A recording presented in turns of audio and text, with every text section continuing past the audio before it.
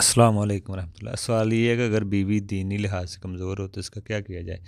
देखिए इसमें आपके लिए एक दाई का किरदार अदा करें फ़ारग वक्त में बीवी के आ, साथ जो अगर तो वो किसी ऐसी चीज़ों में मशगूल है जैसे मैगज़ीन या टेलीविज़न में चीज़ें देखना गिबत चुगली तो इनसे आप उनको मना करें इन चीज़ों से आप नामीद होकर ये ना आप उनसे बल्कि मोहब्बत से उनके साथ पेश आएँ।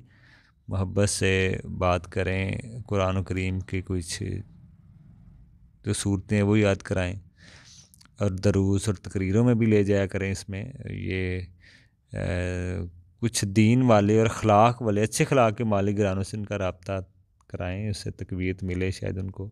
ये सब चीज़ें जो हैं ये ये तरीके हैं आपकी बीवी के ईमान की तकवीत और का वो बास बन सकते हैं। इसी तरह इबादत अगर कम करती है तो सुस्ती करती है तो उसके बारे में यही है कि उसको आप उस मसले में उसका तावन करने की कोशिश करें। नवाफल के फ़ज़ाइल तहजद और क्याम लायल के फ़ज़ाइल, रोज़ा रखने का अजर स्वाब, ये बताना चाहिए आपको। और आप आप भी इसके साथ इनकी इबादत में हसब अस्ताद शरीक हों और आप अपने ख़ानदान पर एक ज़िम्मेदार बनकर रहें और इसे हराम और शक शुबे वाले कामों से रोकें। और अल्लाह ताला से दुआ भी करते रहें कि अल्लाह ताला हमारे परवरदगार हमें, हमारी बीवी और औलादों को, हमारी आँखों की ठंडक बना और हमारे परहेजगार बना। इस तरह की आप दुआएँ करें।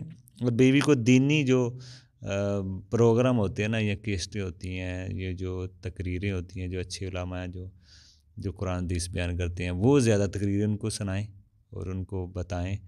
ये दुनिया आर्जी है, फ़ानी है, इस तरह की तलकिन करें।